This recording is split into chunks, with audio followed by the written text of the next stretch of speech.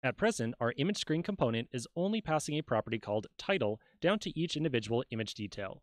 This prop is allowing our parent to configure a child component. But we also want to make sure that our parent of image screen also configures which image each of these should show as well. So we need to add in a second prop being passed from the parent down to each child.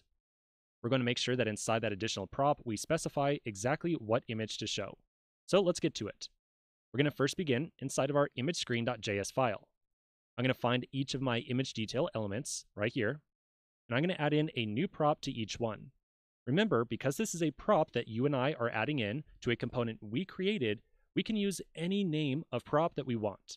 It's only for components created by other people or by React Native itself that we have to use some pre-established prop name with a very specific spelling. So in this case, I think that a prop name that makes sense would be like image source. This is like the image to use or the source of the image that should be used.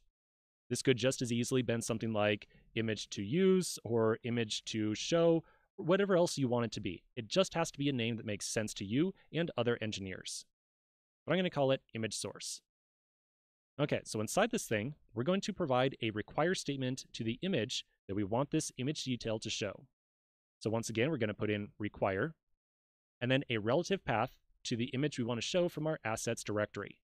So once again, I'm going to go up one directory, up another directory, into assets, and then I'll get forest.jpg. Okay, so now we can duplicate this prop down to the next two as well. So I'll do a copy of just image source and paste it once and paste it twice. We can then update the second image to instead show beach. So I'll do beach, and then the last one to do mountain instead. All right, so that looks good. I'm going to save this file. You'll notice that my code jumps. That's just my code formatter. Everything you see here is 100% equivalent to what you saw before. It's just formatted slightly differently. So now we can go into our image detail and we can receive this brand new prop that we've added in. So inside of image detail, that new prop of image source should be inside of this props object. Rather than just accepting that on faith, however, let's do a quick console log of that props object just to make sure that's the case. So I'll do a console log of props right there and then save the file once again. Remember, to see this console log actually run, we have to navigate to the image screen component inside of our application. So over here, I'll go to image demo, and then I should be able to flip back over to my terminal, which is where all of our, all of our console logs appear. And now we can see image source, image source, and image source. You'll notice that they have kind of strange values here of 3, 4, and 5. That's totally fine. These values you see right here are essentially an identifier that's been added in thanks to that require statement. The identifier is pointing to some particular image. So the property name is definitely image source, and we can essentially just believe that we are getting the correct image in here.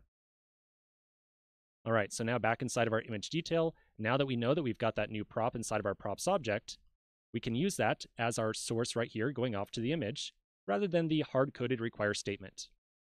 So I will delete that hard-coded require statement and replace it with props.image source.